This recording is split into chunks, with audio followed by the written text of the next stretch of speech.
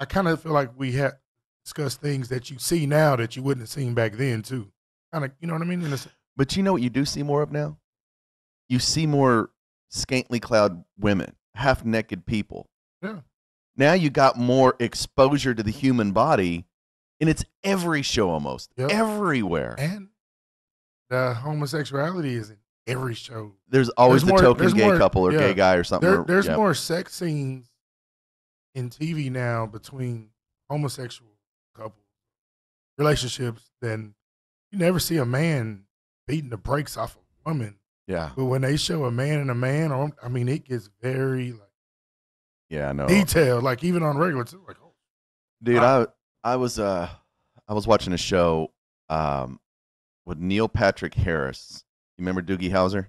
yeah, Um, hold on, what's the name of that show? I'll tell you. It was a new one on um, oh, on AB or no, uh, what do you call it? Uh, shit, HBO. yeah.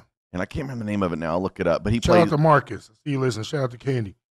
yeah, he plays a um, a gay guy, and and uh, what the hell's the name of that damn show? I can't remember. Anyways, but you're right. It it shows so much physical interactions between the two, and and I'm not just singling out gay people, by the way. I mean, it's this way also with you know uh, heterosexuals, you know, and all that kind of stuff. I mean, it. How does that okay? But at the same, but we're not really okay with a normal, let's call it normal, traditional rather, conservative family talking about their issues as a normal family. I- Why is that not okay? But all the other shit is.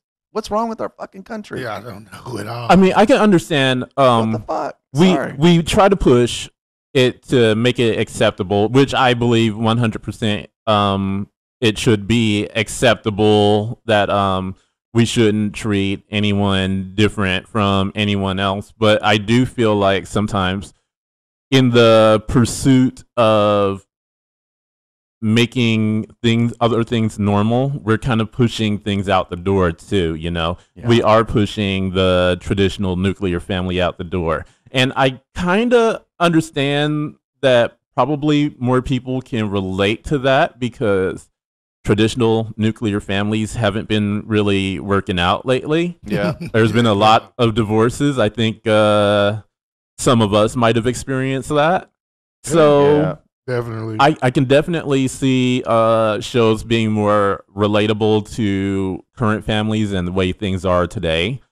But at the same time, I think for a lot of people, a lot of people still believe that that is the ideal family and that's the way they want to live. A lot of people are living that way. And I feel like a lot of those people are starting to feel underrepresented by today's media.